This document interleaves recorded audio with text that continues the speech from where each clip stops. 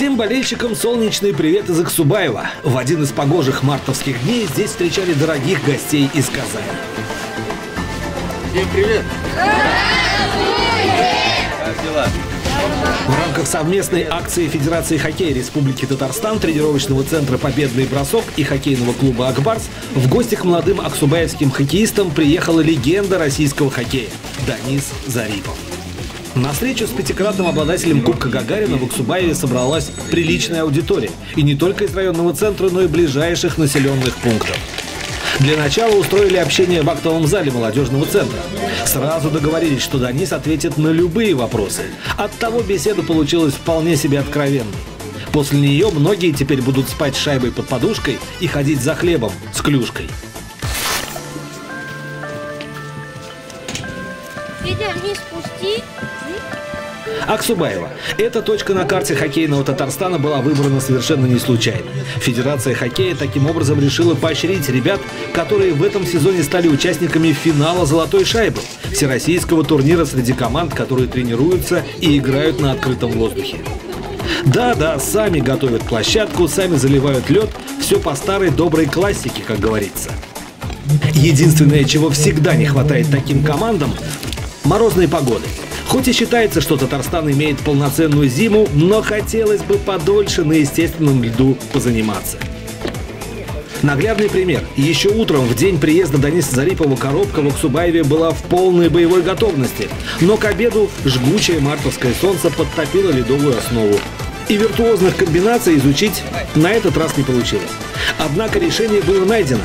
Данис Зарипов и директор тренировочного центра «Победный бросок» Виктор Калачик принялись ставить пацанам бросок по воротам. С десяток восхищенных вздохов после снайперских попаданий хоккейных мастеров, плюс небывалое желание тренироваться, есть один из итогов совместной работы на Аксубаевском льду. Нам приехал Зарипов и научил нас бросать. Я очень рад, потому что я раньше не очень хорошо бросал, теперь научился и стало лучше. Теперь волшебник Зарипов, и все должны стать Зариповыми? Да. Только такая цель? Да, конечно. Как ты считаешь? Ну, не только такая цель. Надо быть самим, не только другим. Надо стремиться к лучшему. А лучше это что, по-твоему? Достижение новых целей. 10 кубков Гагарина? Допустим. Любое занятие надо строить на том, чтобы заинтересовать, мотивировать ребят на работу. Зарипов и в этом плане тоже мастерюга, каких мало.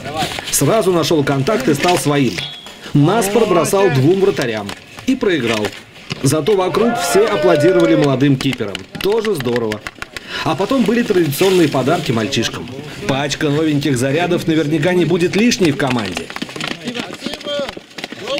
Раз, два, три. Спасибо! Качай его! Еще раз. К сожалению, погодные условия не, не предоставили нам все осуществить, но э, по минимуму с ребятишками мы так позанимались и э, все, я смотрю, как бы получили позитивные эмоции, все довольны. Сейчас завершающую часть э, осуществим, это автограф-шоу, автограф-сессия и закончим на это сегодняшний день. И будем ждать следующих приглашений в районы. Будем, так как остались без хоккея на этот сезон, и будем в этом себя, как в, в этом направлении себя осуществлять. Да, не все задуманное случилось. Значит, будет новая встреча. Федерация хоккея Татарстана гарантирует, хоккейный Акбарс всегда за. Айда Акбарс. Пойдет? Давайте, занимайтесь хорошо.